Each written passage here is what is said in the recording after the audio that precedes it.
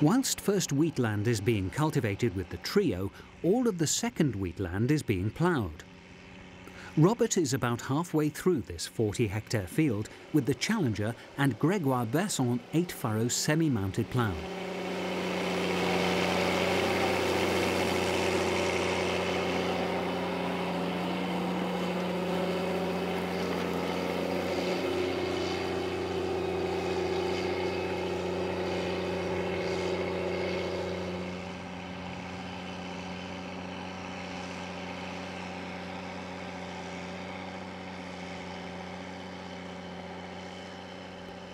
The Gregoire Besson was bought new in 2008 to use with the Challenger, the setup replacing a 7-furrow Dowdeswell and a John Deere 8310.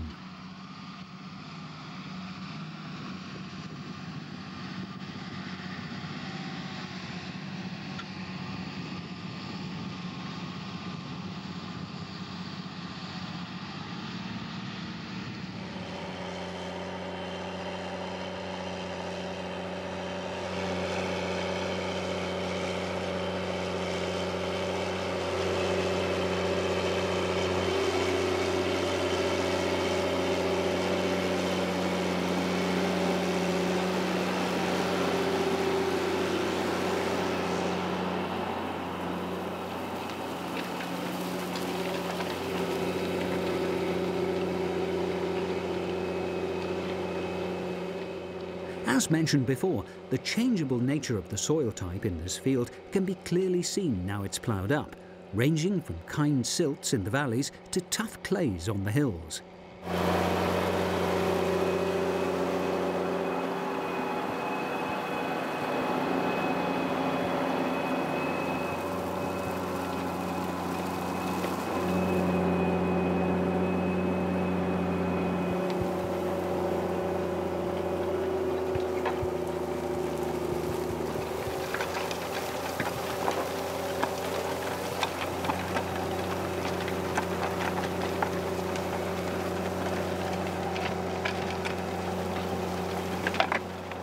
Ploughing depth is 10 inches, with a forward speed of 8.5 to 9 kilometres per hour.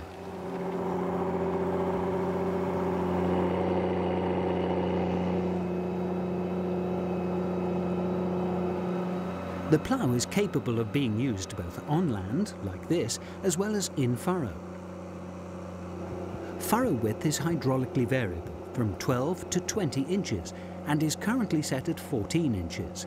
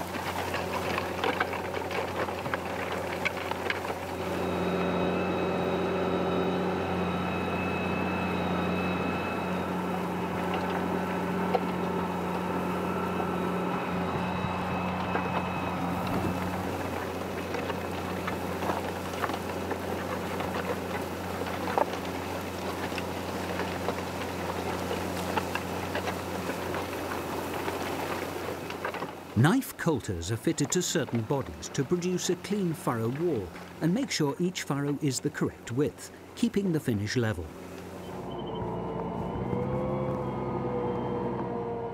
The plough's headstock articulates 110 degrees for tight headland turns. Two hydraulic rams operate a rack and pinion system for the turnover.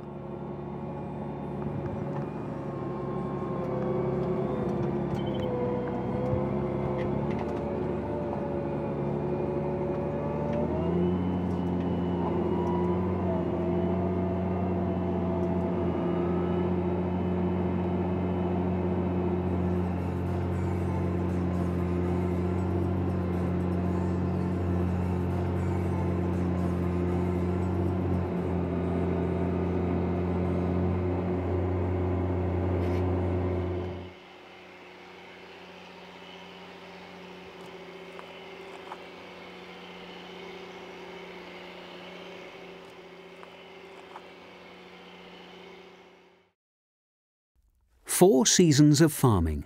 Available now from Anglian Agrimedia.